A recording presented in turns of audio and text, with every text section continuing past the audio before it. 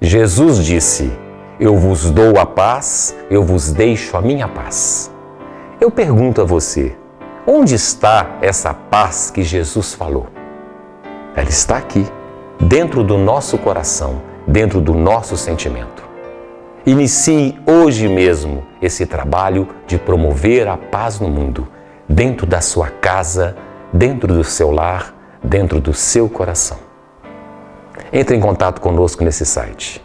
Até o nosso próximo encontro.